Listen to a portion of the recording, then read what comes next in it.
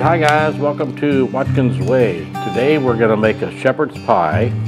And shepherd's pie is, normally it's made with lamb, but I don't like lamb so I'm going to use ground beef. And I did Google, uh, what do you call shepherd's pie with ground beef, and they said it was a cottage pie. So what I'm going to do, I'm going to make it in this dish right here.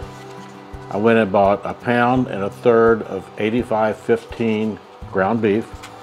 So we're just going to dump that in there and we're going to just brown the meat and then we're going to add our ingredients and I'll tell you about that as I add them in.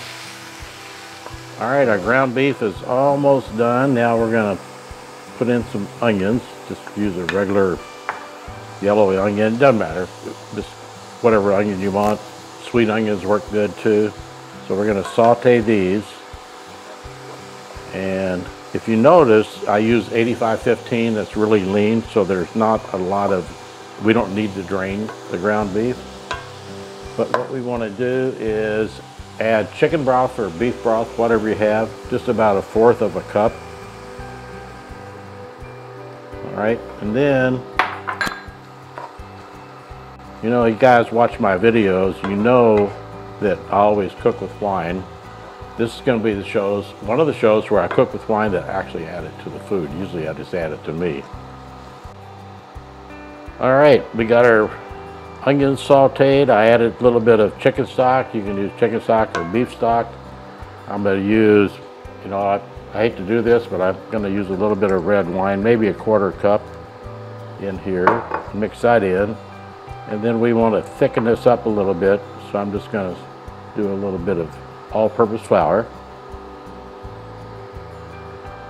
Let this thicken up, and then I'm going to crank up the heat a little bit on this. Mix this in. That'll thicken our sauce with a nice creamy gravy. And now we're going to add a little bit of Worcestershire sauce, maybe two or three, about three tablespoons of Worcestershire and I'm going to add a tablespoon of tomato paste. That all added in here. Gives it a really good flavor, the tomato paste, the red wine.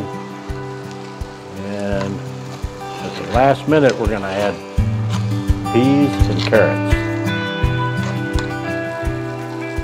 All right, now let's add our frozen peas to our ground beef mixture. Frozen peas. And I'm gonna add some carrots.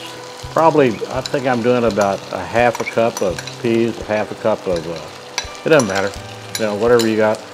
Actually, you can just go to the store and buy a bag of frozen peas and carrots and just the whole bag in the shepherd's pie. So we're cooking this and we're going to add, I'm going to do it the Watkins way. Normally we would dump all this ground beef mixture right in here. Then we would top it with mashed potatoes. Then we're going to put it in the oven and bake it for 30 minutes at 350 degrees. But I'm going to do it a little bit different today. I'm going to put my mashed potatoes on the bottom, add a little cheddar cheese, then I'm going to add the meat mixture, and then I'm going to add the potatoes on top. So it's the Watkins way. I'm just going to do it different.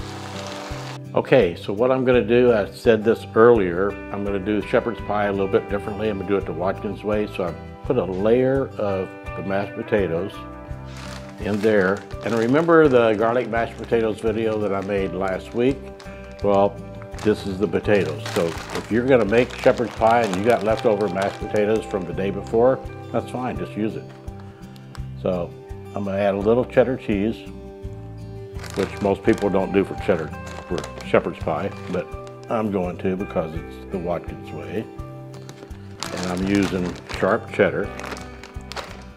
And since I had to open a bottle of wine to put a fourth of a cup of wine in my mixture here, I'm afraid this might go bad, so it's early in the morning, but you know, I don't want this to go bad, so I'm gonna have a little wine. So cheers to Watkins Way, guys. Thanks for watching. All right, so let's add our mixture.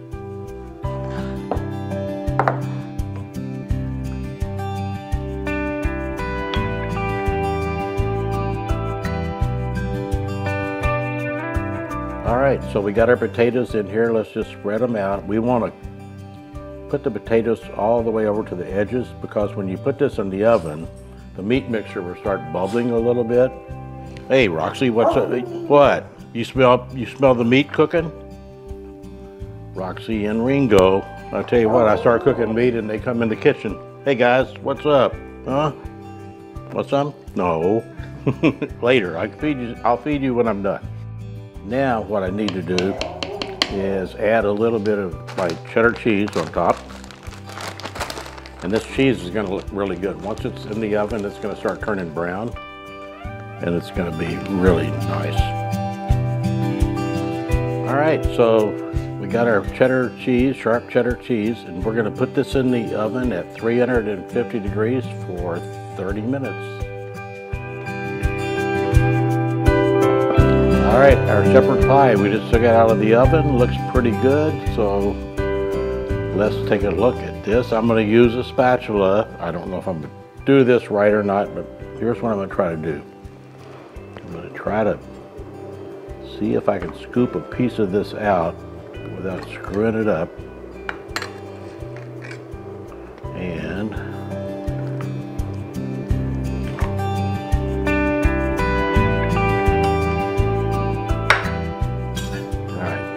Me guys. I gotta see if I can do this right. After all, we are filming this, so here is my shepherd's pie. How's that look? Looks pretty good, huh? See the steam coming off the top? All right, guys, that's our shepherd's pie. Thanks for watching. Subscribe, I need subscribers. I don't have hardly any, but if you subscribe, it help me out. Comments good or bad, Send me the good ones. Don't send me the bad ones. See you later. Bye.